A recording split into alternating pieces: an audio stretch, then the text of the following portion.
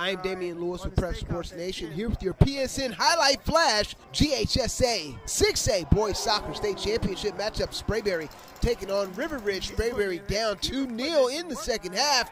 And here, Kyle Sequiera takes the shot but unable to connect. And then later, Yellow Jackets going to get a shot off by Gavin Crow just wide left. Jackets. Time winding down on the Jackets. Gene Marcel Sylvain gonna give it a go in the box, and that shot is too high. And as time starts to wind down, River Ridge will put the exclamation point on it. Kingston Courts from the 20, go!